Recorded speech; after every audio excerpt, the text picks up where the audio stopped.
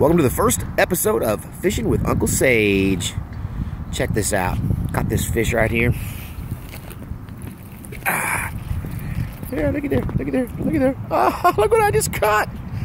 It's spring in Oregon. Spring has come early. So it's January. I'm out here fishing. And look what I just caught in my neighborhood fishing hole.